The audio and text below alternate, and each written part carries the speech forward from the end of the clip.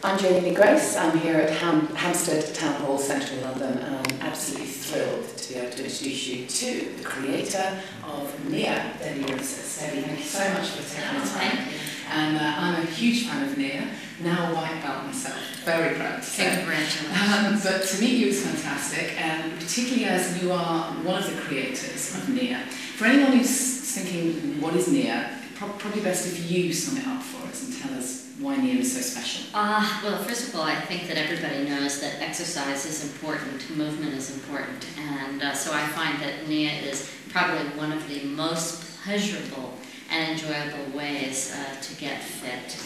And rather than doing traditional exercise that oftentimes disassociates one from their own body and their own body pleasure, Nia is all about getting into your body and about sensing and choosing pleasure in everything that you do, whether it be on the dance floor or in your life. Mm-hmm. And the combination of martial arts, doing movements that are precise, empowering oneself, um, integrating dance art so that one really feels like they're dancing and expressing oneself.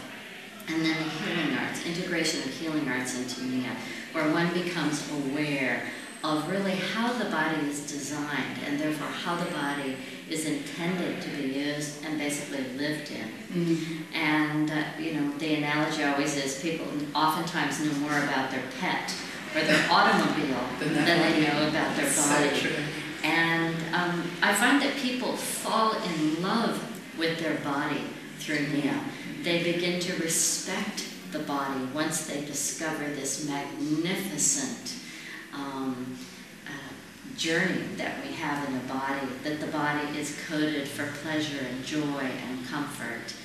And through Nia, I find that people make lasting lifestyle changes. So Nia is not only a workout, it is also a lifestyle practice. And I think that that is what keeps people so deeply connected to the work is that they realize that it's not just about what happens on the dance floor for that hour, but what is even more important is how you live in your body and use your body off the dance floor. Mm-hmm. And Nia teaches you how to do that.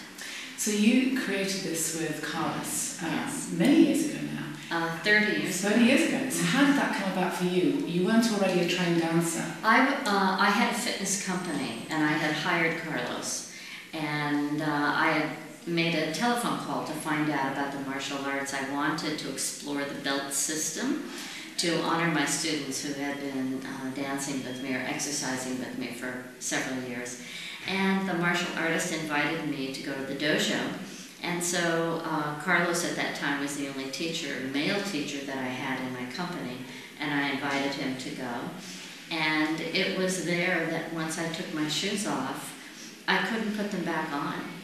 And uh, so then Carlos and I began to explore what it was like to move in bare feet without jumping up and down and still get a cardiovascular workout. And it really happened in a split second. Because there's none of that kind of no pain, no gain, push to the burn thing about Nia. It's, it's there's no competition. There, it's your own body's way. Is the phrase yes, you use. and uh, you know your body's way is your, your current design of your body. The body's way provides us a map or an ideal.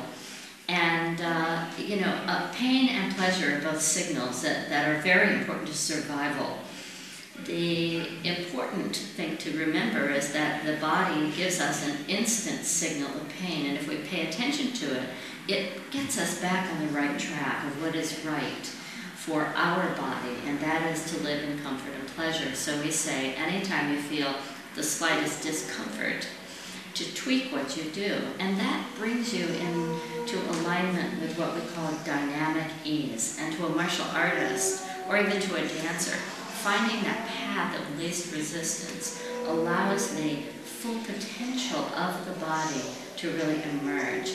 And I believe that at any age, what really uh, turns people on is to discover their potential in their body. And so one sets their own goals and uh, their own desires, and in, in some way kind of competes with what they did today and what can I do tomorrow. Mm-hmm. And um, I'll be 61, and I know that every single year, my goal is I want to be able to do more one, one-handed push-ups, not less. Yes. So, but in addition to the, as you say, the physical fitness, and it is a fantastic workout, um, you say there's this, there's this other element to Nia, which is something that you wouldn't necessarily notice from the first class you do. Certainly if you do a training, then you absolutely can sense this, this more spiritual element. Can you sort of sum that for us in a couple of sentences? I know Yes. it's a big thing though. I think that actually that is the one thing that people notice immediately. And whenever you do something that is deeply meaningful to you, and you have an opportunity to slow down and connect to yourself, and to actually feel what you're doing, and notice your responses, and have an intimate experience with your own body, that in unto itself is a very enriching, and for many people, they describe it as a spiritual experience. They're connecting to something very deep inside of them. The word Nia itself uh, means with purpose in Swahili. And when you do anything with purpose, then again, the meaning and the personalization of the experience is revealed. And uh, with so much technology in the world that we live in that can often separate us from feeling our own bodies, the opportunity to come into a class where the teacher says, go inside and feel your body. What does your body want? What does power feel like in your body? Um, I think is what allows people to feel a spiritual experience. They're connected to something, and it's their body. Mm. Well, Debbie, I uh, wish you all the best for the rest of your tour of the UK.